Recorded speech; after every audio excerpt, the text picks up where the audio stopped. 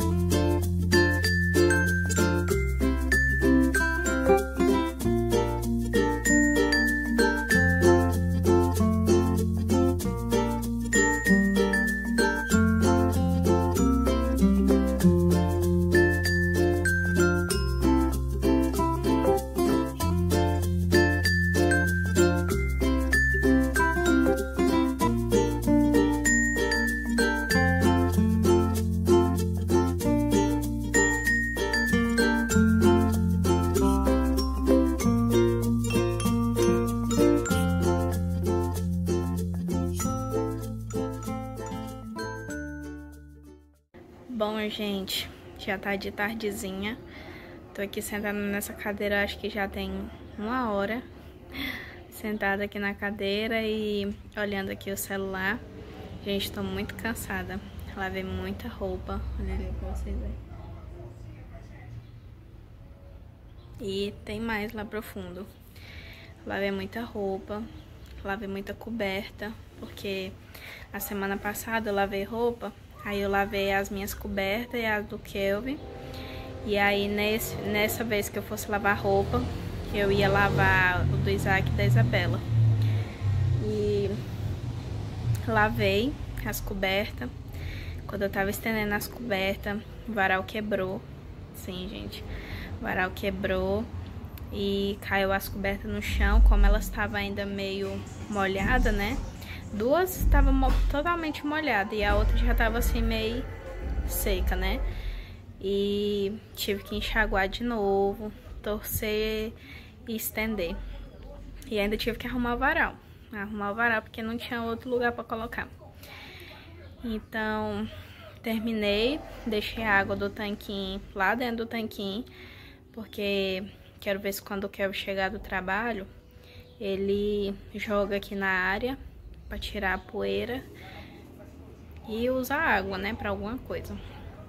Eu também queria passar um pano na casa, porque a casa tá com muitas manchinhas, porque o que cai no chão suja, né?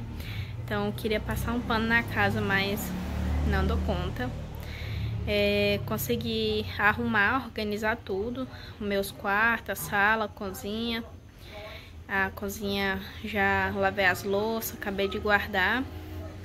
E vou já começar a cuidar aqui em fazer uma janta. É, enquanto eu lavava a roupa, eu tirei uma carne pra fora pra descongelar. Eu vou dar uma olhadinha pra ver se ela já descongelou. Se tiver já pronta, eu já vou colocar na panela de pressão pra ir cozinhando. Enquanto isso, vou tomar um banho. Ainda dei banho na Isabela.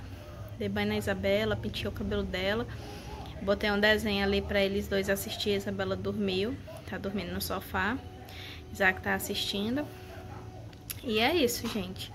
É, talvez pra vocês, né, não foi assim grandes coisas que eu fiz, mas meu dia hoje foi puxado, gente.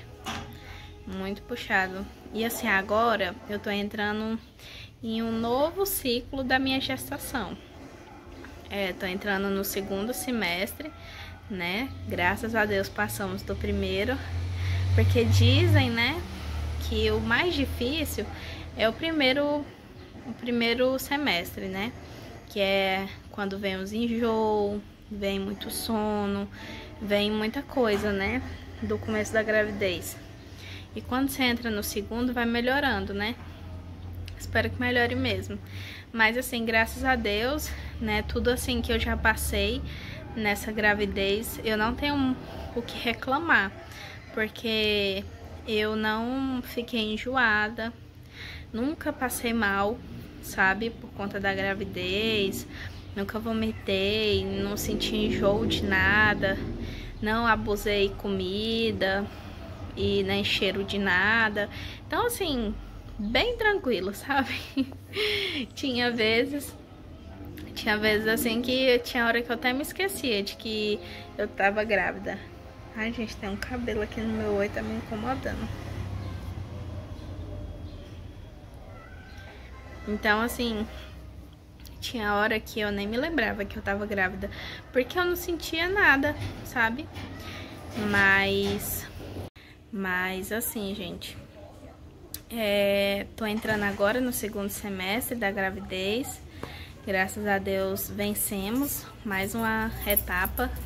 Tô com 14 semanas de gravidez, né? Então, assim, graças a Deus, estamos conseguindo, estamos vencendo, né? A única coisa que eu ainda sinto muito é muito sono durante a manhã. Por exemplo, o Kelvin sai para trabalhar às sete, sete e meia. Eu não consigo já ficar acordada. Então, assim, eu vou acordar nove, dez horas da manhã.